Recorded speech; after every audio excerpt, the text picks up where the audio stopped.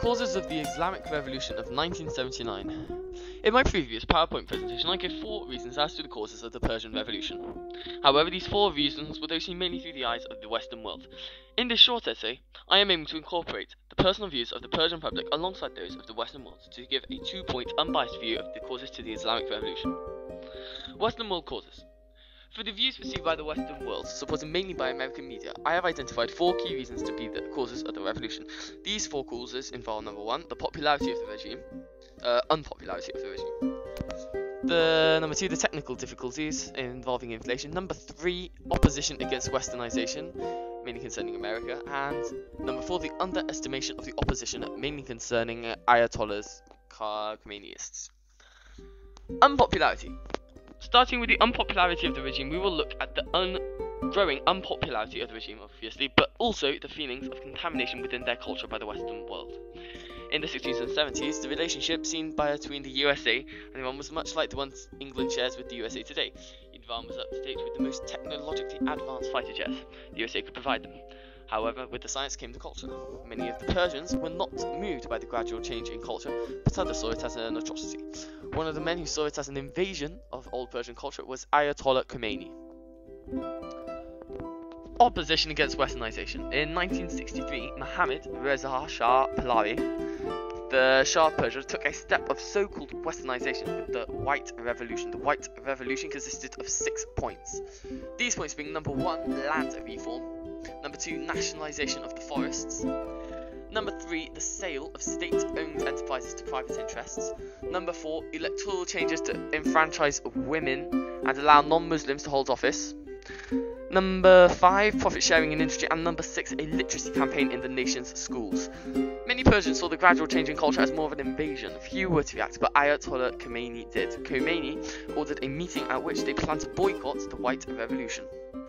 This brings us on to the underestimation of the opposition. The Shah ignored Ayatollah Khomeini, thinking his speeches would fade from the memories of the Persian public, but they didn't. On the January 22nd of 1963, Khomeini delivered a strongly worded declaration denouncing the Shah and his plans. Despite this, the Shah continued with his right revolution. On the afternoon of Ashura 1963 June, Khomeini delivered a speech showing the relationships between the infamous tyrant Yazid and the Shah, depicting the Shah as a and I quote, wretched and miserable man, warning him that if he did not change his ways, the day would come where the people would offer up their thanks for his departure. So now we're going to be looking at the causes of the revolution perceived by the Persian public. To begin with, unlike the Chinese or the Russian Revolution, the Iranian Revolution was not a proletarian peasant revolution, but one that was manifested through a combination of other reasons. The main reasons consist of, um, okay, number one, private and governmental establishments. Number two, very high inflation due to the increase in oil prices in the early 70s. Number three, westernization without respecting the cultural heritage of the Iranians. Number four, lack of recognition by the Shah of the Ayatollah's potential ability to instigate an eventual revolution and regime change.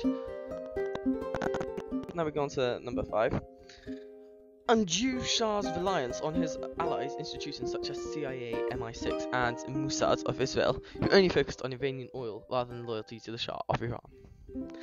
Number 6, and most importantly, Shah's refusal in 1978 to agree to the renewal of a 25-year treaty signed in 1953 for control of the Iranian oil by the West, namely with the powerful Seven Sisters, example Exxon, BP, Shell, Total, etc. Number 7, finally, Shah's unpopularity at home, in particular amongst the less advantaged Iranians.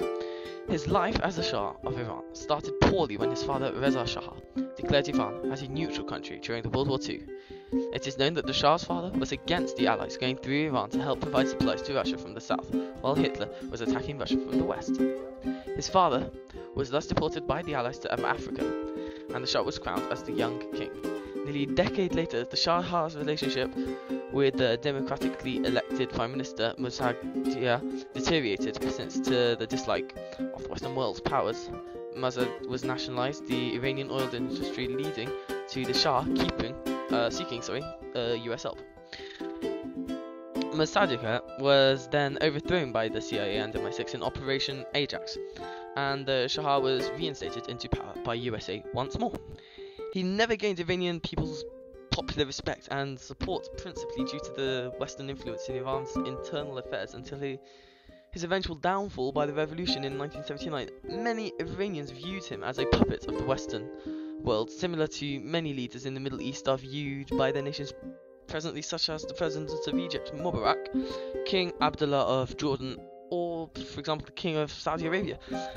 At the end of the Shah's regime, he was brought to an end not only because of his own people's um, prizing, but I'm praising, but also being abandoned by his Western allies, such as Margaret Thatcher or Jimmy Carter, who refused to to to provide him and his family with refugee status, and their countries despite his vast wealth. And thus came to an end the 2,500 years of Persian kings and their dynasties into our modern history. Thank you very much for listening. I hope you've learned something.